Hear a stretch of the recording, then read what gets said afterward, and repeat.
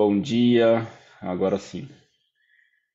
Bom dia, pessoal. Estamos ao vivo para mais uma live da Semana Mundial do Sono 2023. O sono é essencial para a saúde. Queríamos agradecer né, à Associação Brasileira do Sono pela iniciativa e pela oportunidade a todos os apoiadores dessa semana. E vamos esperar aqui as pessoas entrando. Magali já está online e daqui a pouco eu apresento os convidados para vocês para iniciarmos a nossa fala. Bom dia, Márcio. Bom dia, Lúcio. Bom dia, Bárbara. Bom dia. Bom dia a todos. Bom dia a todos, é um prazer. Vamos lá. Só mais um, alguns minutinhos, viu?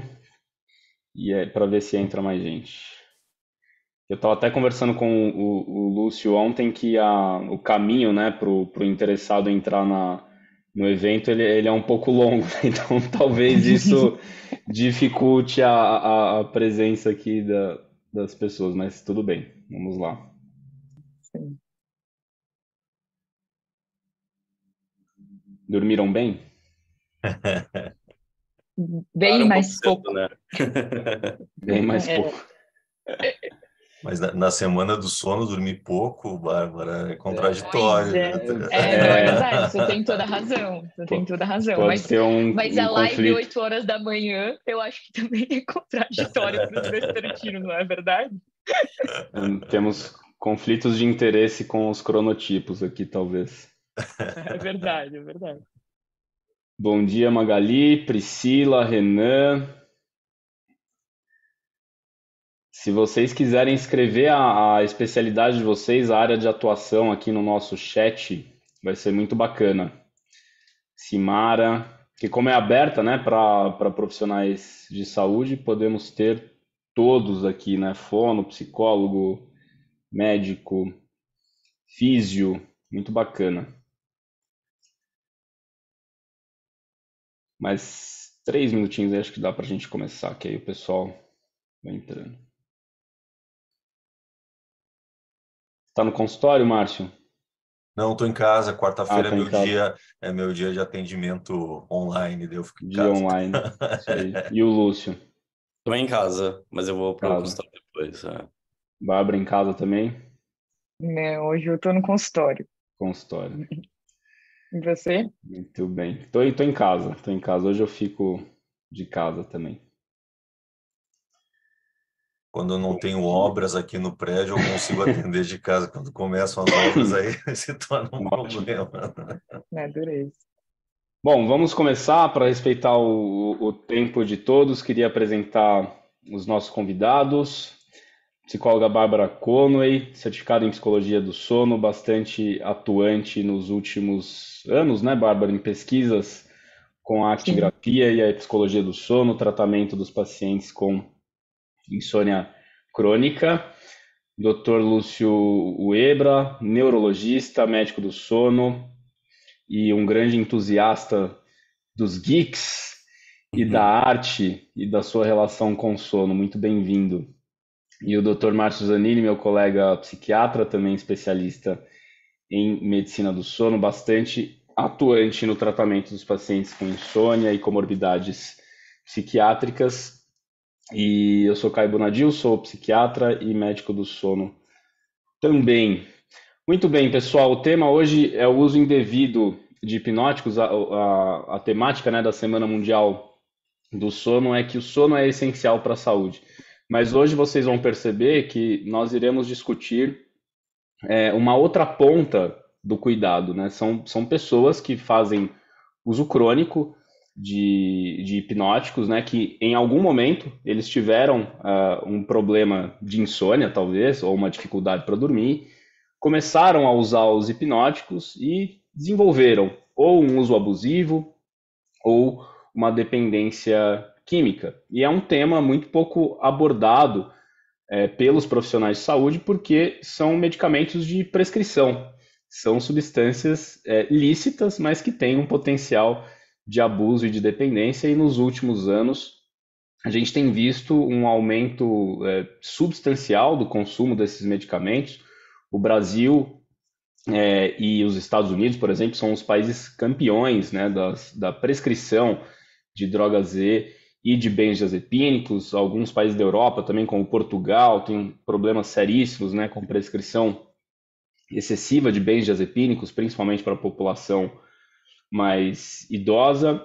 E, e, nos últimos anos temos visto aí, por conta de relatos de redes sociais internet, casos é, bizarros, né, de, de pessoas que consomem excessivamente esses medicamentos, até para buscar outros efeitos para além da indução do sono. Então, é, são pessoas, não sei se os meus, os nossos convidados aqui têm essa mesma impressão, mas eles desaprenderam a, a dormir. E é por isso que eu estou falando que eles estão na outra ponta do cuidado. Então, a, é, a ideia aqui é discutir é, questões que estão relacionadas a, bom, como que na minha prática clínica eu posso fazer com que esse paciente gradualmente recupere é, a, sua, a sua funcionalidade em relação ao sono, né? Como é que ele pode aprender a dormir de novo e, portanto, é, estabelecer comportamentos que não ofereça, não ofereçam riscos, né, para sua saúde física e mental. A gente sabe que o maior problema do uso crônico de, de drogas Z e de, e de benzodiazepínicos, acho que é o foco aqui hoje, é a própria dependência química. Né? Em idosos, por exemplo, existe um risco aumentado de queda, de fraturas, de infecções. Em pessoas mais jovens, né, comportamentos anormais relacionados ao sono, as parassonias, né, as tão conhecidas parassonias. E também existem evidências né, mais recentes é, sugerindo aí uma associação com o comprometimento cognitivo, tanto de forma crônica quanto de forma aguda. Então, a ideia é conscientizar os profissionais de saúde, porque esses pacientes aparecem em todos os consultórios. Todo mundo, em algum momento da vida, ou a grande maioria dos pacientes que procura é, algum profissional para auxiliar na, na qualidade do sono, vai falar, bom, eu já tomei isso ou já tomei aquilo, tá? Muito bem, e aí, é, é, considerando essa minha fala inicial, eu queria perguntar para os meus colegas, e, e, e, queria começar pela Bárbara, é, uhum. como que esse paciente, Bárbara, ele chega no, no consultório é, pedindo ajuda, né? Como que ele vem é, falando para você, como psicóloga, como psicóloga do sono, é, bom, eu estou usando um remédio aqui e o meu problema é esse. Como que isso aparece na, na tua prática clínica como psicóloga? Ótima pergunta, Caio. Primeiro, queria agradecer a oportunidade de estar aqui conversando com vocês e participando desse evento, que acho que é super importante aí, essa conscientização, né? É, bom, vamos lá. Respondendo essa pergunta, é, o paciente ele chega para a gente, né, na, na prática, no, no consultório da psicologia do sono, extremamente desconfiado e com muita pressa. Então, assim, ele quer resolver e ele quer resolver naquele momento, né? E, e aí, um primeiro momento, acho que é muito importante a gente não entrar na pressa do paciente, né, para fazer esse desmame. É, ele muitas vezes chega para TCCI, né, que apesar de ser o padrão ouro de tratamento da insônia, é, ele já passou por muitos médicos e por muitos medicamentos. Então, geralmente aquilo ali para ele é assim, e eles falam de verdade, assim, olha, é minha última tentativa, tá? Se você não resolver o meu problema, eu vou desistir, não tem problema. É, então, assim, é, é, a gente já começa manejando aí essa desesperança, essa desconfiança em relação ao trabalho.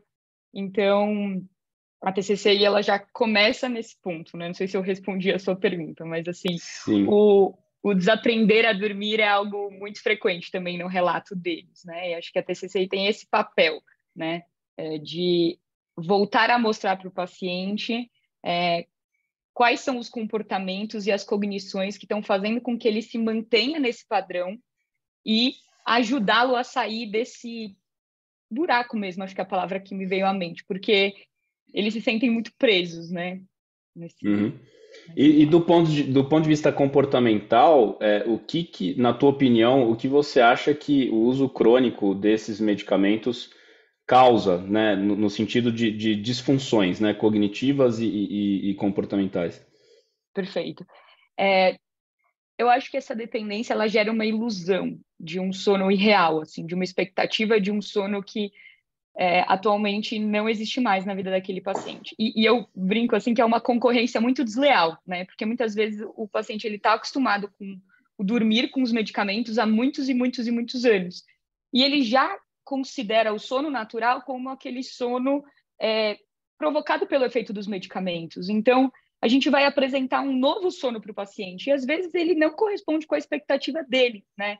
Então, em termos de, de comportamento, de disfunção, acho que é, é realmente se abrir para uma nova possibilidade de um sono diferente do que ele está acostumado a ter, né? Não sei se era uhum. é, isso, assim. Sim. E, e você acha que eles... Uh o que, que você tem visto assim no consultório? Você tem visto pacientes que usam altas doses ou mais baixas doses de, de forma crônica? E aqui, pessoal, só para vocês entenderem o, como, o que, que a gente considera, né? A gente tem uma recomendação em bula, né, de, de cada medicamento. Então, por exemplo, o Zolpidem, você tem ali uma dose recomendada em bula de 5 miligramas ou 10 miligramas, ou ah, com as formulações de liberação controlada, 6,25 miligramas e 12,5 miligrama por dia, né, antes de dormir. Então essa seria uma, uma baixa dose, mas se ele usa de forma crônica, ele já tem já está em risco aí para desenvolver uma dependência.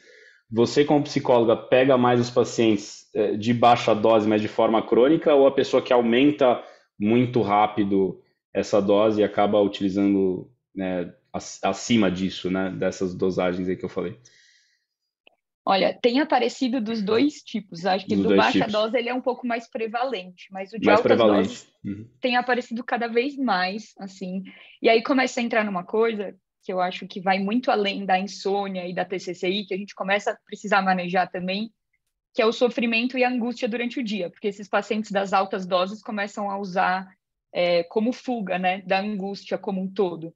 E a gente começa a precisar usar e aí, ser psicólogo mesmo, não só psicólogo do sono, mas usar da intervenção psicológica para conseguir entrar também nesse outro lugar que vai muito além, né? Então, o paciente, ele, acho que ele começa a ter uma expectativa também que o sono vai ser ali uma maneira de fugir dos problemas da vida e etc.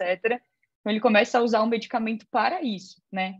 O paciente uhum. que ele usa baixa dose, ele tem uma questão que eu acho que é muito mais forte desse é, desaprender a dormir sem o remédio, e ele fica ali, é, muitas vezes, ele tem um padrão de sono é, não tão bom com o remédio, mas ele toma o remédio e ele se dá por satisfeito em relação a isso. Então, quando você começa a aplicar TCCI, ele começa a melhorar o padrão de sono, muitas vezes ele vai ficando mais confiante também, de que, olha, bom, eu estava tomando remédio, eu comecei a fazer essas atividades aqui, eu comecei a melhorar, então agora eu consigo ficar um pouco mais seguro para ir retirando outros casos que não, que o paciente já usa há muito tempo, dorme muito bem com, com o medicamento, e aí quando você começa a retirar, ele vai começando a ter ali algumas apresentações, e, e é engraçado porque eles deturpam muito esse processo, então começam a achar que 15, 20 minutos para dormir ou 25 minutos de vez em quando é um absurdo, né?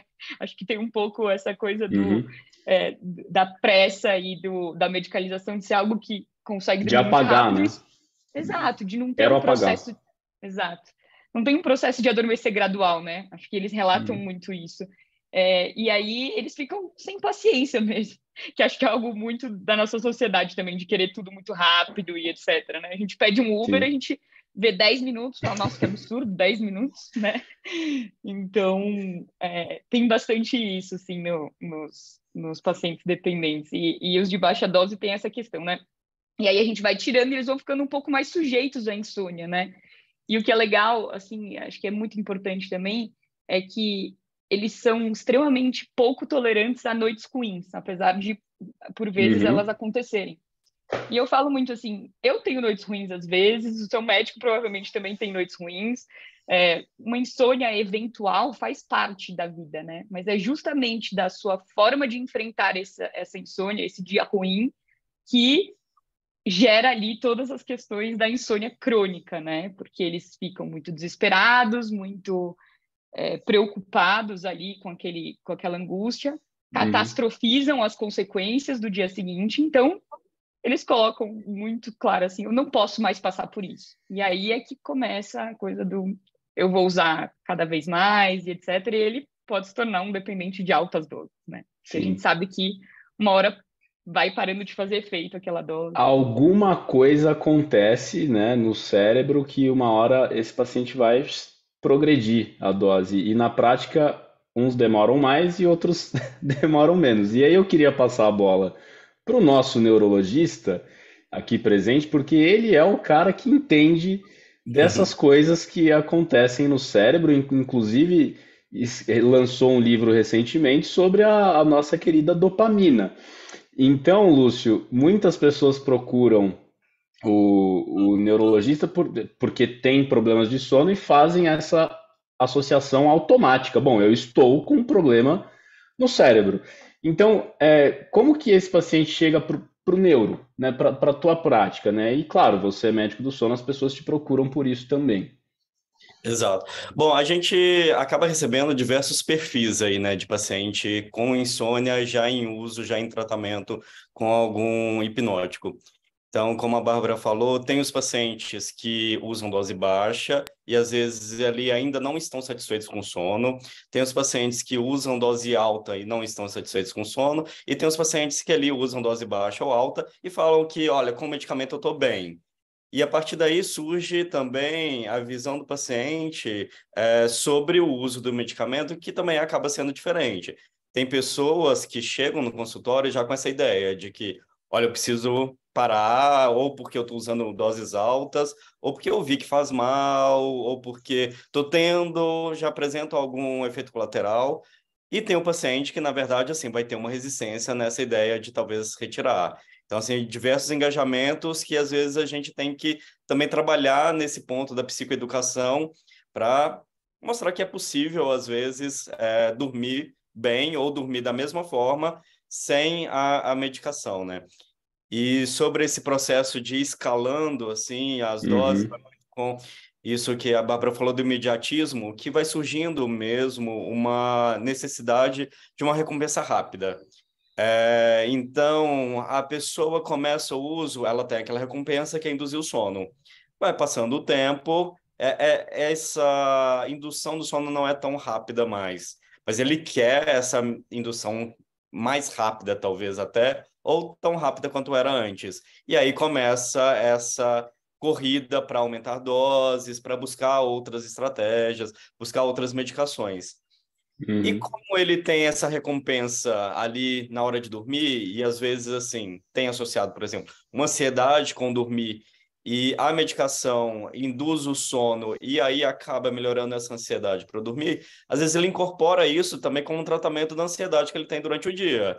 E é aí é entra no, no abuso comportamental aí da medicação que seja o mais perigoso, né? O paciente que começa a usar a medicação, às vezes, durante o dia, para alguma ansiedade ou outra qualquer, ou até às vezes uma ansiedade fisiológica da vida, e, e começa esse abuso da medicação também durante o dia, né? E, e o que que acontece, Lúcio, é, com a pessoa que, que aumenta a dose, assim, do ponto de vista é, neurológico? Então, é, vai criando uma dependência mesmo, uma dependência química, assim como qualquer droga ilícita Aí, como qualquer outra substância que tem um, um potencial Exato. de abuso dependente. Como o cigarro, o álcool, cocaína. E, bom, é, as medicações hipnóticas, elas têm esse efeito a curto prazo.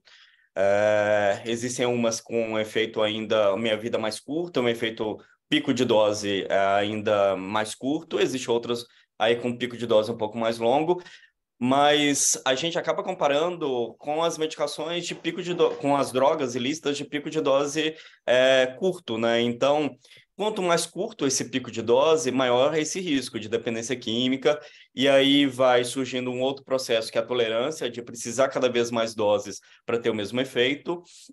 E aí pode acontecer até abstinência, de uma vez ficou sem, bom, tô sem receita, não consegui, e ali naquela noite não tomar, ter efeitos aí orgânicos da falta da medicação, né? Sim, e com nos últimos anos, né, tem aparecido no mercado formulações com pico de ação cada vez mais rápido e de meia-vida cada vez mais, mais curta, né? E eu não sei se você tem essa mesma impressão que eu tenho, que esses casos mais graves têm acontecido com essas formulações de pico de ação mais rápido, né? Exato. É, bom, é o interesse da indústria farmacêutica, né? Então, Sim. se existe uma chance de ter um efeito benéfico, que o paciente sente esse efeito benéfico mais rápido, é, é o que o paciente procura. Talvez não é o uhum. melhor para ele, mas é o que ele quer. E, e muito... esse processo de dependência acaba sendo aí o que é mais danoso. E essas medicações também de efeito muito rápido, acontece também, eu acho que facilita também um processo que eu percebo na prática, de uma dependência comportamental. Que aí tá. eu acho que a Bárbara deve ver muito, assim. O paciente que tem uma convicção que ele só dorme porque ele toma um medicamento. Às vezes eh, ele já está nesse processo de tolerância, talvez o efeito químico da medicação já não é tão importante mais, mas ele não consegue sair dessa ideia, que ele só dorme com a medicação.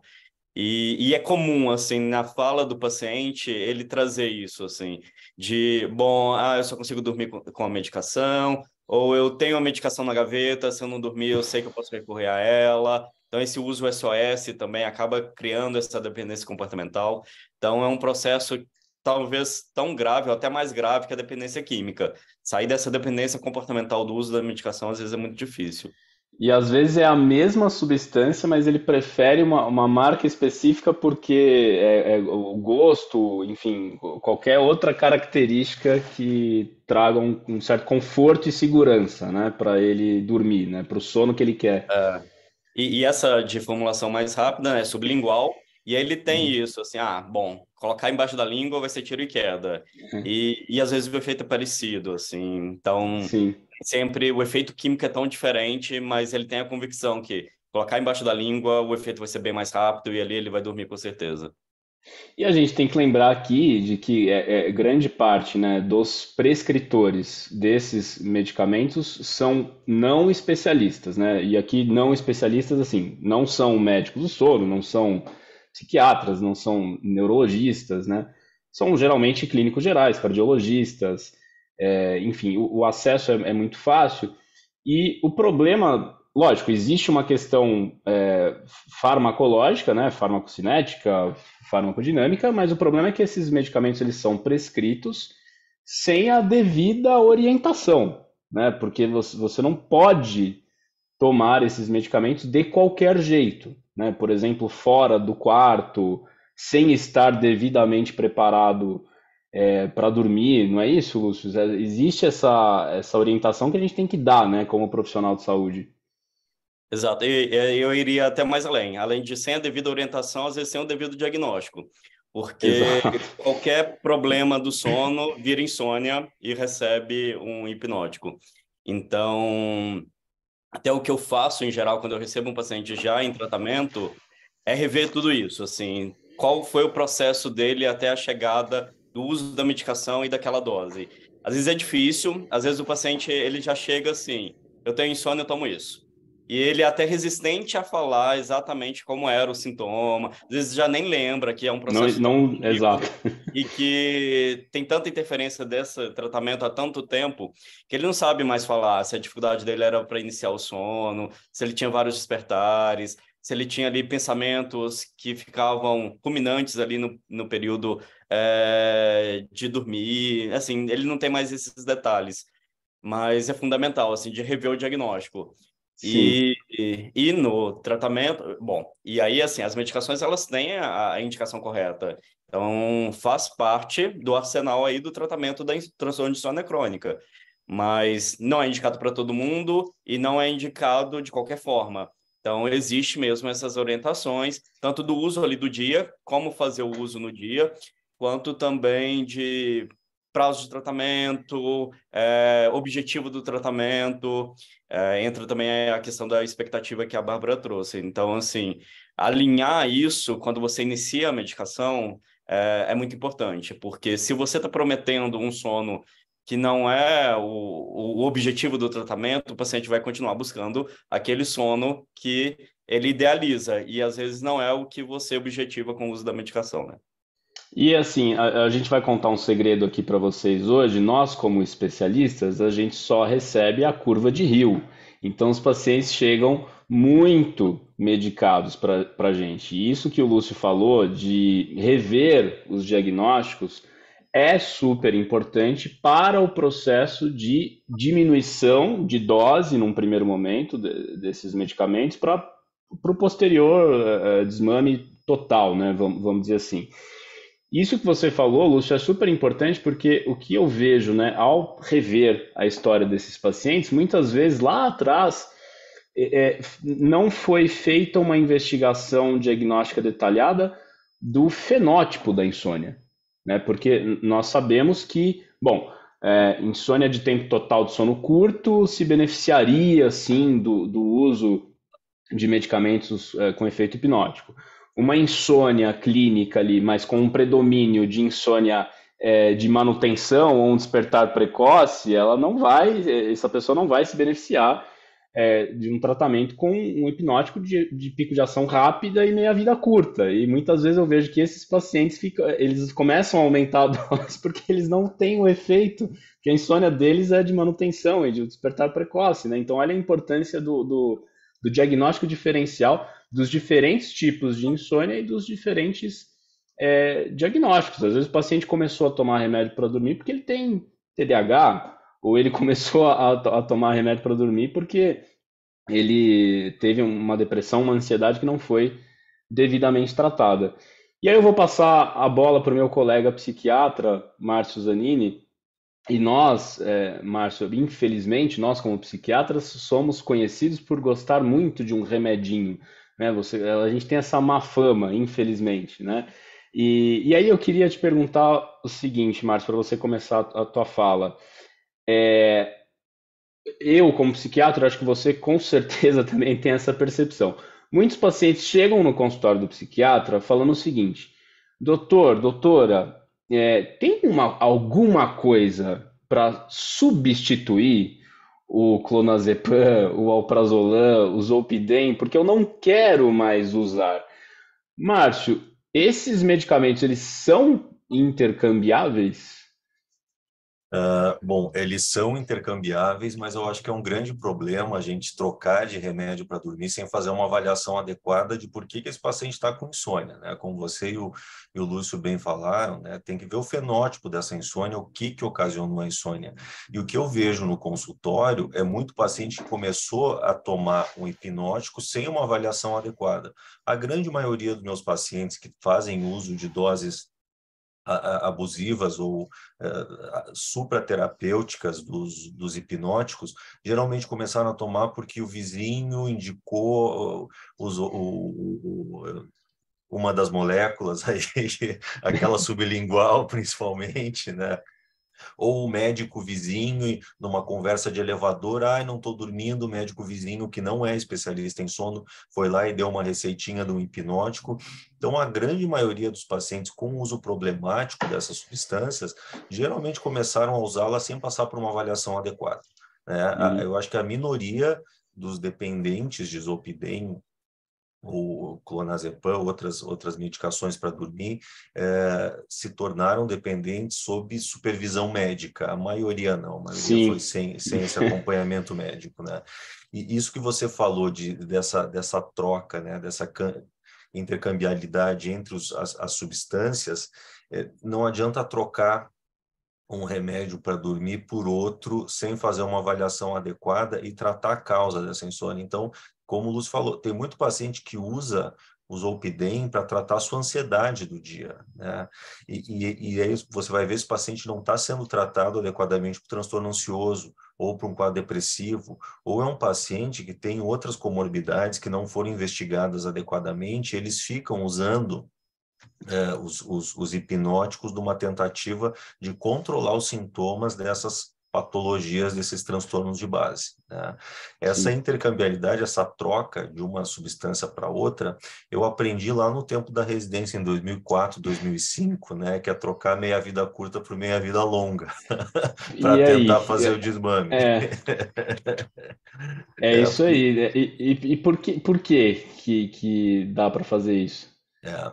O, o Zolpidem, né, vamos usar o, o, nome da substância aqui bem claramente, ele foi lançado com a promessa de não causar dependência, do paciente não desenvolver tolerância e não apresentar os problemas cognitivos que os benzodiazepínicos mais antigos tinham. Né? Então virou assim a solução para insônia. Agora pronto, temos o remédio fantástico aí a solução para insônia, um remédio que não vai causar problemas problema algum, né? E se começou a prescrever o Zolpidem com essa, com essa crença, né? Mas é como você falou, o Zolpidem tem uma meia-vida curta, ou seja, ele ajuda no início do sono, ele mantém o sono por algumas horas iniciais, mas depois ele não segura, né? E aí o paciente acaba sentindo necessidade, muitas vezes, de doses adicionais. Então, e ele tem um comportamento neurológico, neuroquímico muito próximo dos benzodiazepínicos, porque ele atua em receptor GABAérgico. Né? Então, se diz, ah, é, é um hipnótico não benzodiazepínico. Mas não sei, eu, não sei se eu concordo com essa classificação, porque ele se comporta como um benzodiazepínico. Ele causa dependência, ele causa tolerância e ele causa déficits cognitivos uh, reversíveis, mas causa, uh, e a gente vê pacientes fazendo uso abusivo. E por que, que isso acontece? Pela uh, dessensibilização dos receptores GABAérgicos do cérebro, né? da mesma forma que se observa com os benzodiazepínicos. Quando a gente pegava paciente usuário de benzodiazepínico com quadro de dependência de benzodiazepínico, o manejo era substituir um benzodiazepínico de meia-vida curta por um de meia-vida mais longa, porque com isso o paciente tem menos sintomas de abstinência, tem menos necessidade de, de uso de doses uh, recorrentes da medicação e a gente consegue fazer uma retirada uh, mais cuidadosa. E hoje, o, os pacientes que eu tenho que são usuários crônicos e, e fazem uso problemático de Zolpidem, a minha conduta é trocar por um benzodiazepínico de meia-vida longa. Alguns colegas têm é, por hábito fazer uma, uma tentativa de redução gradual do Zolpidem. Eu acho que isso não funciona, porque a partir do momento que o paciente chegou numa dose de 3, 4, 5, 10 comprimidos de Zolpidem, ele não vai ter o controle de agora eu vou tomar um comprimido a menos, porque ele vai fazendo um uso compulsivo, num padrão de dependência química. Você não consegue falar para um dependente químico, para um usuário de cocaína, hoje você só vai cheirar um pino e não vai cheirar três. Né?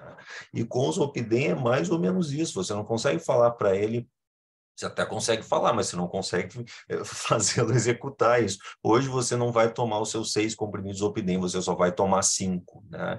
Então é importante oferecer um substituto que o paciente durma e não tenha os sintomas de abstinência que a retirada do Zolpidem vão causar.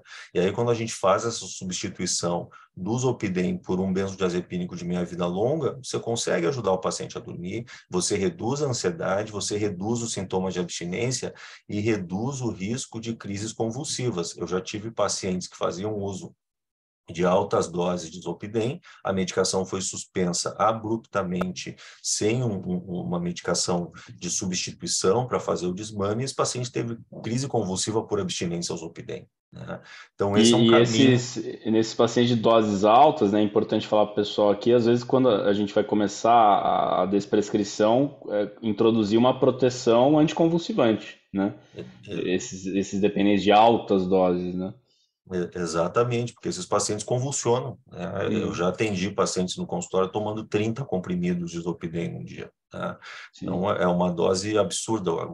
A apresentação sublingual de 5 miligramas, eu tinha um paciente que tomava um frasco por dia. Assim, então, uhum. é, era, era um, um, trabalho de dependente químico mesmo. Ele, ele, ele ia atrás da medicação como dependente químico vai na biqueira buscar droga várias fontes né, de, de, prescrição, várias fontes de receita, é, Mercado Livre, farmacêuticos, né, amigos, é. etc. Ele vai buscando, né, ele vai mudando a, é. as fontes. Né? E, e, e, como o receituário dessa medicação não é aquele receituário azul controlado, uhum. é, é, um receituário que, que se usa para prescrever antidepressivos, então qualquer um consegue fazer no Word um receituário desses. E eu tive um paciente que ele mandou fazer um, um carimbo com o meu CRM, com o meu nome, e ele usava isso para ir comprando uh, Zolpidem. Né? Sim. É, olha só que interessante, pessoal, isso que o Márcio falou, da troca né, de, de um medicamento que tem um pico de ação rápido, meia-vida curta, por um, por um benzodiazepínico de meia-vida longa. É, eu não sei se você concorda comigo, Márcio, mas assim, os benzodiazepínicos eles foram ali na década de 70, 80 os, os remédios mais prescritos no mundo, assim, de, de longe, né? O, o, o diazepam, por exemplo, é, tem um dado super interessante que ele chegou a, a vender em algum ano ali da década de 70 mais de 2 bilhões de comprimidos no, no mundo, né? Ou seja, um, acho que um terço da população na época usou é, diazepam, é né? uma coisa bizarra. E, e aí, na década de 80, os benzodiazepínicos começaram a ser enxergados como, como grandes vilões, né? É, aí veio toda aquela coisa cultural da ah, não, porque é tarja preta, né? e agora não, não pode prescrever benzodiazepínico para mais ninguém. Mas olha como eles são importantes hoje para o processo de retirada né, de, de droga Z, por exemplo. Né? Olha que coisa louca. Agora eles podem ser nossos amigos, é isso? Eles sempre foram nossos amigos. Né? O problema, o problema do benzodiazepínico é o uso desassistido, que foi o que causou muitos casos de dependência. Eu me lembro na residência, eu recebia aquelas senhorinhas de 80 anos fazendo uso de Lorax há mais de 40, né? E daí eu falava para o professor, como é que nós vamos fazer? Ele assim, nós não vamos fazer. Agora ela já está com 40 anos de uso do, do Lorax, ela está adaptada, já teve uma adaptação neuroquímica é, o cérebro hum. já está familiarizado com isso e você tentar tirar essa medicação agora não vai dar. Mas o que, que acontecia com essa senhorinha? Ela ia no posto de saúde, pegava a receita com o clínico, ia comprando a medicação sem nenhum tipo de acompanhamento, de uhum. seguimento. Então, o, o problema de todos os medicamentos, inclusive do Zolpidem, é a falta de acompanhamento. Né? E a, a renovação, pessoa... né? A renovação, a renovação sem rever a evolução clínica do paciente. Exatamente, é preciso segmento, né? A gente tem que ter uhum. segmento para usar a medicação pelo tempo necessário e seguro. Né? É, e assim, muito, a, a, gente tem a recomendação de bula, né, dos fabricantes, ah, 30, 60 dias no máximo, mas a gente sabe que na prática, é, às vezes o paciente tem um, um, perfil né, mais grave, e aí, em alguns momentos, ele vai precisar, em alguns casos, né, esse tempo ele, ele pode ser maior. E, e, e nesse sentido, eu queria que você falasse, Márcio, né, como psiquiatra, é, e claro, temos profissionais é, é, da saúde aqui de diversas áreas. Quais, é, prescritores e não prescritores, mas quais é, comportamentos, né, se é que é possível chamar dessa forma, ou que tipo de, de paciente estaria mais arriscado a gente prescrever um hipnótico com potencial de abuso de dependência? Que, que padrões de comportamento ou de personalidade, ou o que, que eu tenho que prestar atenção na história clínica Hum. Né? Antes, né, pra, assim, eu preciso pensar 15 vezes antes de, de prescrever um hipnótico para essa pessoa. Bom, eu acho que a primeira, o primeiro paciente a se evitar o uso de, de hipnóticos benzodiazepínicos ou benzodiazepínicos like, como são as drogas Z, são aqueles pacientes com histórico de uso abusivo de qualquer tipo de substância. Né? E aí, quando a gente fala em histórico de uso abusivo, tem que avaliar a história familiar. Então, é aquele sujeito que tem uma história familiar de alcoolismo, de dependência de outras substâncias, a, tenden a, a chance desse paciente se tornar um dependente de, de hipnóticos é muito grande. Né? Ou o paciente que já faz um uso abusivo de álcool, faz uso abusivo de drogas ilícitas, uh, fuma há muito tempo, uhum. tem, um, tem um consumo uh, regular de, de, de, de, cigarro, de, tem um quadro de dependência de nicotina mesmo, esse tipo de paciente provavelmente vai fazer um, um quadro de dependência ao benzodiazepínico e à droga Z. Né? Outro tipo de paciente que a gente tem que ter muito cuidado são aqueles pacientes mais impulsivos, né? com, com características mais impulsivas, com uma tendência a, a, ao imediatismo, né? como a Bárbara muito bem falou, assim, o, o, paciente ele quer uma solução rápida e não tem uma capacidade de uh, desenvolver mecanismos para dormir adequadamente, né? Ele quer tudo muito rápido, tudo para ontem. E esse imediatismo é uma característica da nossa sociedade, né? Então a gente tem que ter muito cuidado que pessoas mais imediatistas elas vão buscar soluções fáceis e rápidas, né? Só que a solução fácil e rápida muitas vezes não é a melhor e no caso dos, dos hipnóticos não é mesmo, né? Então, é, pacientes com transtorno de personalidade, um transtorno de personalidade borderline, né? são pacientes que têm uma tendência a desenvolver dependência de substâncias e fazer o uso de maneira abusiva, impulsiva dos, dos hipnóticos. São pacientes que são tomados por sentimentos de vazio, de angústia, e eles vão usando o que tem na frente aí para tentar melhorar esse desconforto. Né? Então, esse tipo de hum. paciente tem que ter muito cuidado. Né? Outro paciente que eu também evito prescrever droga Z são os, os, os, alcoolistas, não só pelo risco de dependência da droga Z, mas pela combinação da, a interação com álcool. A interação com álcool, né? A gente tem uma potencialização do efeito sedativo e tem uma potencialização também do efeito do álcool quando se usa uh, drogas hipnóticas combinadas com álcool, né? Então, são vários pacientes aí que o ideal é, é, é não deixar eles nem cheirarem um, um hipnótico, né? Que dirá fazer, fazer o uso para tratar a insônia, né? Sim.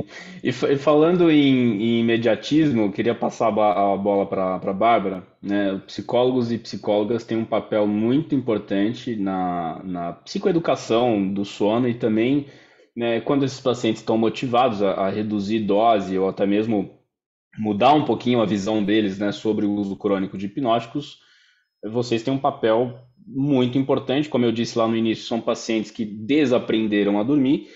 É, a gente discutiu um pouquinho sobre isso lá no início, mas eu queria que você detalhasse, Bárbara, um pouquinho mais agora é, bom, qual, quais são as intervenções, né, de uma forma mais, mais detalhada assim, para fazer com que esse paciente saiba dormir novamente, né, enquanto está retirando ou reduzindo a dose? E eu queria, né, se possível, você começasse essa discussão com um padrão de comportamento que, com certeza, todo mundo observa aqui na prática clínica. Esses pacientes, eles começam a antecipar né, o horário que eles tomam o remédio para dormir, com a ideia do seguinte: bom, se, se eu tomar mais cedo, então aí até eu dormir, até ele fazer o efeito, então portanto eu vou dormir mais e melhor. Eu queria que você começasse a, a tua fala é, partindo desse, desse comportamento tão comum né, que a gente vê no consultório. É, perfeito é, o estender o tempo na cama é algo assim extremamente prevalente entre os insônios e eu acho que é uma, da, uma das grandes viradas de chave do tratamento da TCCI é realmente a restrição desse tempo na cama, né? Então, realmente, é, da forma como você explicou, né? O paciente ele começa a entrar numa dinâmica que é o seguinte: bom, eu preciso muito dormir e eu já percebi que o meu sono é ruim. Eu demoro muito para dormir eu acordo muitas vezes, a depender do tipo da insônia, eu acordo muito mais cedo. Então, aí eles vêm com a ideia que seria o senso comum. Se eu me organizar para dormir antes, se eu for para casa correndo, se eu tomar o um remédio antes, se eu tentar tudo fazer antes, eu aumento a minha probabilidade de conseguir dormir. Esse é o raciocínio. E eles querem muito a garantia, né? Então, assim, eu preciso aumentar a minha probabilidade e aí com isso eu vou chegar mais perto da probabilidade que é a minha garantia. Eu preciso de uma garantia que eu vou dormir. Então, eles começam a entrar nessa dinâmica. E aí começa essa coisa do uso de medicamentos mais cedo e etc. E aí, falando das técnicas, né, uma das principais é essa que eu citei, que é a restrição de tempo na cama. E o que, que ela é, né, em resumo, assim?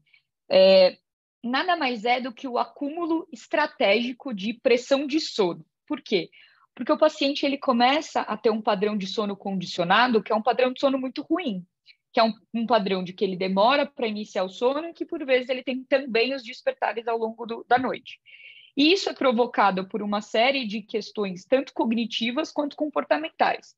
Mas uma coisa é fato: se a gente não se atentar a essa parte biológica e se ela não jogar a nosso favor, muito, muito difícil do paciente conseguir sair.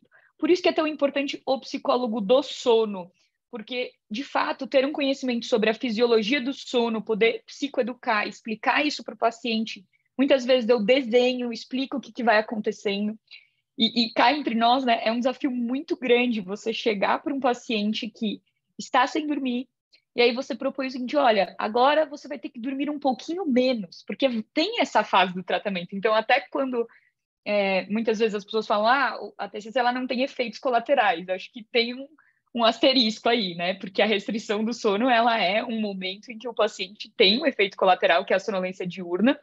Então, é muito importante você já conseguir ter feito um vínculo com o paciente, porque senão ele vai sair correndo, falar, oh, eu vim aqui dormir mais e você está me propondo dormir menos, né? É, então, é, esse comportamento a gente vai ter que é, cognitivamente começar a mostrar para o paciente o quanto que esse esforço para dormir, né, popularmente pensando assim, esse murro em ponta de faca, tá mais piorando o problema dele do que ajudando, porque é isso que a gente vê os insônios fazendo, eles se embaralhando na hora de ali tentar conter a insônia. Então, a gente vai começar a ir por um outro caminho. Então, você não vai mais tentar evitar todo custo, a gente vai começar a te preparar psicologicamente para que você consiga enfrentar uma noite ruim. Então eu falo assim, essa vai, nossa, vai ser a nossa prova de fogo, você vai ter que passar por isso em algum momento.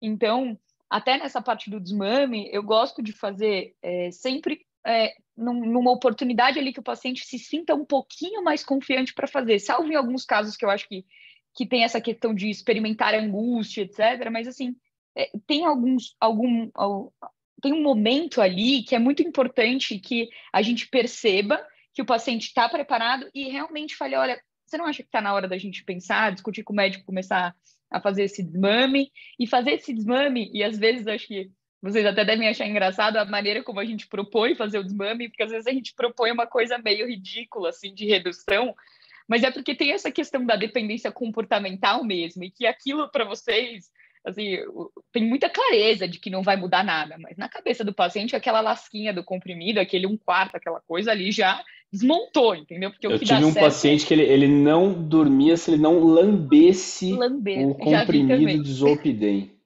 Lamber, né? É uma nova forma de, de administração.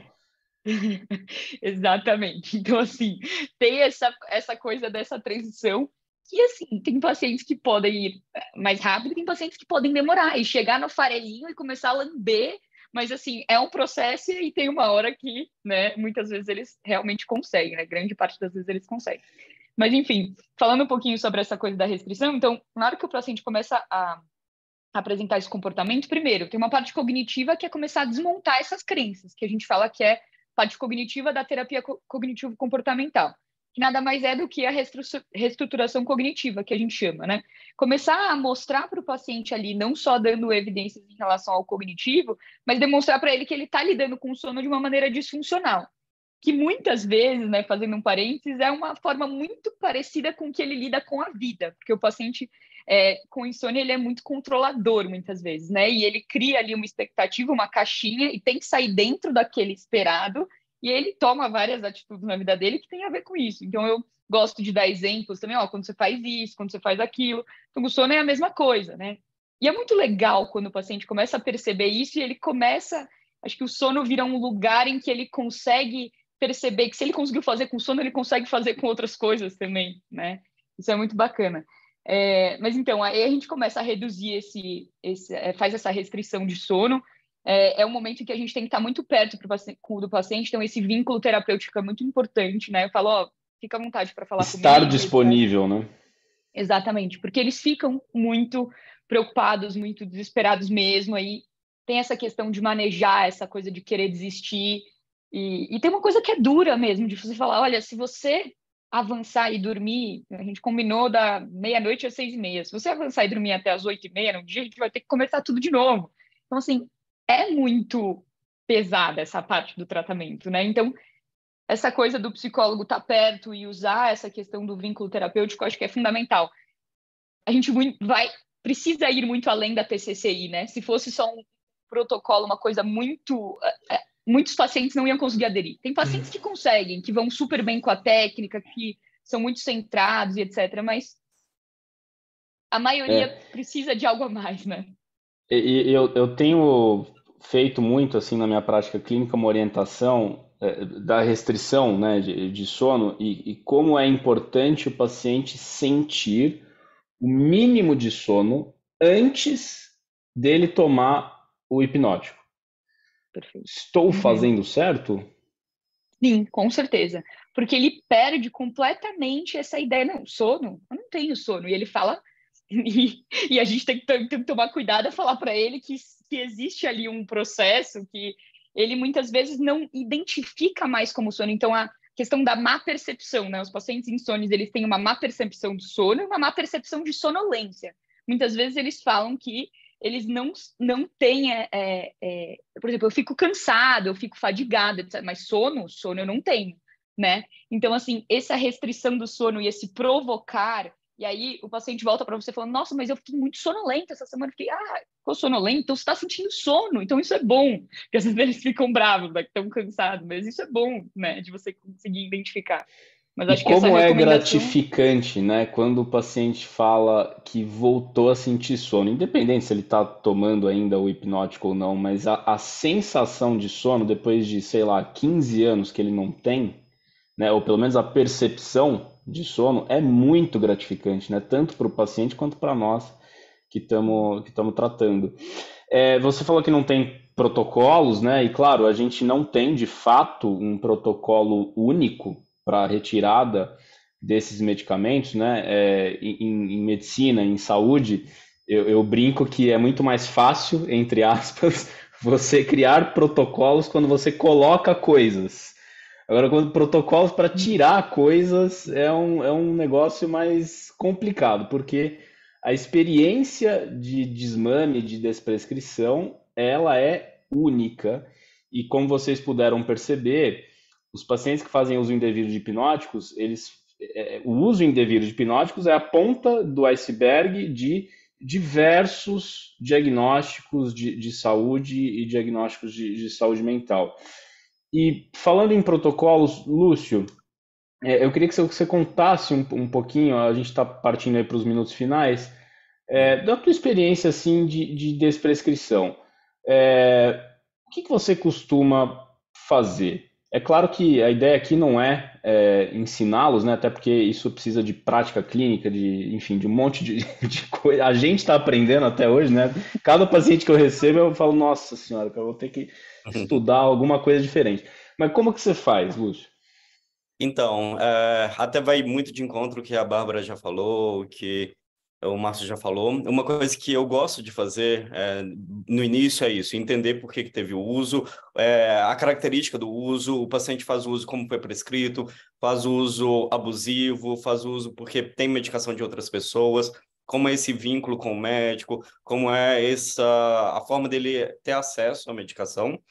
E aí uma coisa que a Bárbara falou que eu gosto muito de fazer é assim, primeiro conquistar é, uma boa qualidade do sono, assim, mesmo em uso da medicação, o paciente sentir uhum. assim, olha, acho que eu estou dormindo melhor. Então, assim, antes de propor de retirar, você ali criar uma condição de sono mais adequada, até para ele ter um engajamento maior do que de que vai conseguir retirar, acreditar nisso e ver que é possível. Então, às vezes, a gente recebe o paciente, mesmo em doses altas de medicação, mas ele tem uma queixa muito grande ainda em relação ao sono. E aí você pega esse paciente com muita queixa ainda e fala, olha, a gente vai tirar seu remédio. Aí é difícil, assim, até ele ter um bom vínculo com você e às vezes até realmente acreditar no seu tratamento. É... Bom, aí tem até uma história que eu ia comentar que vem dessa tática que a gente tem, da troca do uso de hipnóticos de meia-vida curta, por exemplo, Zolpidem, pelos de meia-vida longa, e benzodiazepines, por exemplo, clonazepam tem muitos pacientes que questionam isso. Nossa, mas eu vou usar o Rivotril que minha mãe tomou. Vou ficar dependente, né? Então, assim, existe esse receio. E, assim, esse receio também é nosso, porque existe o risco do paciente se tornar dependente ao benzodiazepina de meia vida longa. E aí tem outros problemas associados com isso. Então, não é também uma troca ali sem risco algum. Então, você está trocando medicações que ali agem no mesmo receptor, até por isso que você está trocando. Tem um perfil melhor em relação à dependência por conta de meia-vida mais longa, mas existe um risco grande também de dependência. E aí, é, nessa retirada gradual que eu faço mesmo com essa troca, eu acho que assim o grande segredo é informação e você está disponível para o paciente. Então, você informar, olha, existe risco de isso, daquilo, é, pode acontecer de reduzir você dormir mal, às vezes ter que voltar um passo anterior. É, o paciente, quando ele. E, e, assim, explicar todas as etapas, todos os passos. que eu acho assim, quando o paciente tem uma perspectiva do, do trajeto que ele vai percorrer, Sim. Ele vai com mais segurança, assim, ele sabe, bom, agora é isso, depois vai vir aquilo, então ele sabe quais são os planos aí por vir.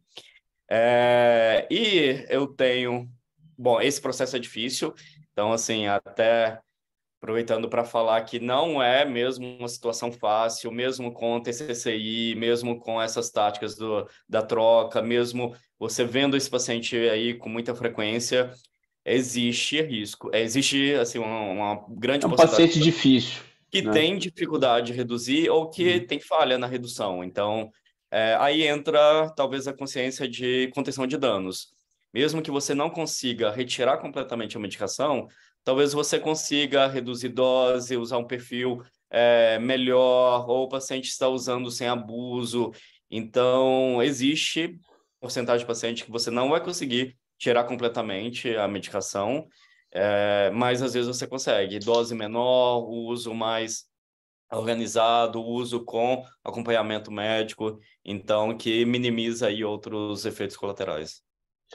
Márcio, a gente como, como psiquiatra, enfim, os diagnósticos são diversos, né? Tem, é, existem comorbidades psiquiátricas, patologias duais, né? Quando você tem a dependência química com a, com a comorbidade psiquiátrica, é, além de, de, é, de substituir né, um medicamento de minha vida curta para o de minha vida longa, na tua prática clínica, quando que você utiliza, por exemplo, antidepressivos sedativos? Existe essa, essa possibilidade? Queria que você contasse um pouquinho, Márcio, da tua prática com isso. Tá, acho que você está no mudo aí. Aí. Entre as comorbidades com, com, com, insônia, eu acho que os transtornos ansiosos são os mais prevalentes, né, cara? Então, nesse caso, a gente vai ter que, praticamente em quase todos os casos, lançar a mão do, do medicamento com efeitos ansiolíticos, que são os antidepressivos. Né? O nome antidepressivo é equivocado, porque ele dá a ideia de que é um remédio para tratar depressão, mas ele trata quadros ansiosos e, e, outras condições, né? Então, a, primeiro o, o, tratamento da ansiedade nesses pacientes com comorbidade de insônia e transtornos ansiosos é fundamental. E quando essa comorbidade está presente, eu tendo a favorecer os antidepressivos com efeitos sedativos, né? Então, se a, se a gente consegue fazer a, o tratamento da insônia e da ansiedade com uma medicação única, eu acho que isso é muito vantajoso, né? Melhora a aderência, diminui o risco de efeitos colaterais e facilita depois a retirada do, do hipnótico o paciente está usando.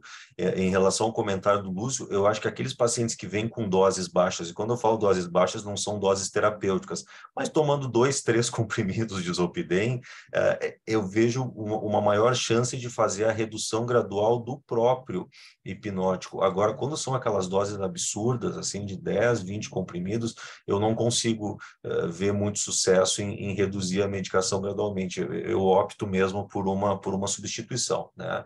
E aí é importante o vínculo terapêutico, né? Você explicar para o paciente por que, que aquilo está sendo feito e ter uma programação. Eu dificilmente uh, libero o paciente com uma dose e na volta ele vai estar com a mesma dose. Eu já na consulta oriento, olha, você vai começar com 10 gotas e quando voltar aqui nós vamos fazer uma redução gradual, você já vai estar com 5, por exemplo. Né? Pensando no, no Montar um calendário, né? Entregar isso para o paciente. Para mostrar para ele que aquilo ali não vai ser um tratamento definitivo, mas é uma transição, né? Eu acho que isso é, é muito importante.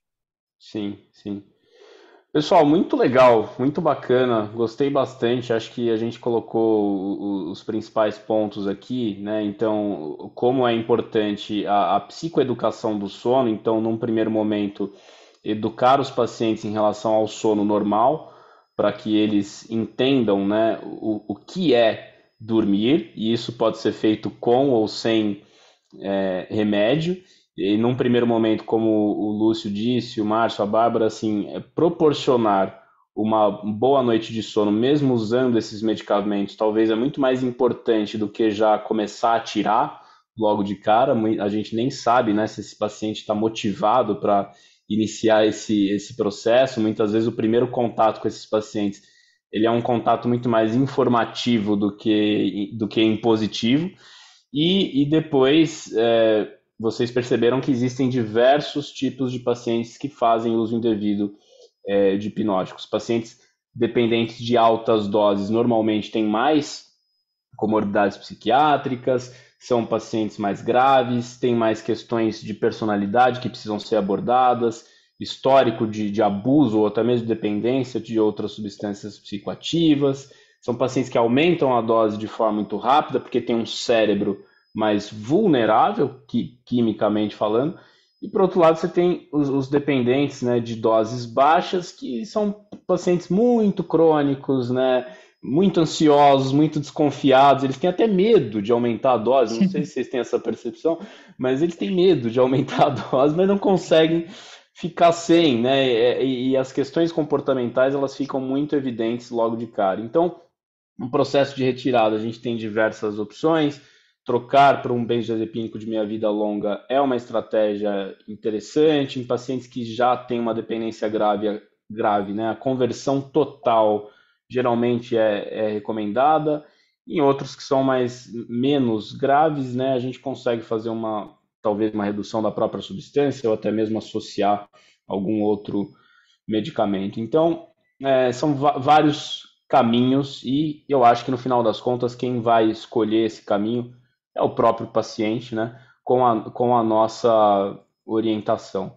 Então, eu queria agradecer a Bárbara, o Lúcio, o Márcio, gostei bastante da participação de vocês, adorei, muito obrigado pela disponibilidade. Eu sei que não é fácil, né? Hoje o tempo é o nosso bem mais precioso. E agradecer novamente à Associação Brasileira do Sono pela iniciativa e os nossos apoiadores. Bom, eu que agradeço pelo convite, foi um prazer dividir essa, essa manhã com vocês. Acho que foi uma discussão bastante, bastante rica para todo mundo. Né?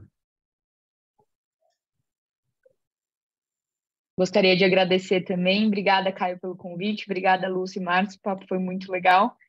E obrigada a todos que participaram também. Obrigada, Associação Brasileira do Sono. Muito bom estar com vocês. Obrigado, pessoal. Obrigado pelo convite. Eu acho muito importante assim essas medidas de educação em sono, já que é, a formação sobre medicina do sono ainda é muito deficitária. Então, propagar essas ideias, principalmente uma informação importante como essa, é, é realmente muito importante para a qualidade de saúde aí. Obrigado.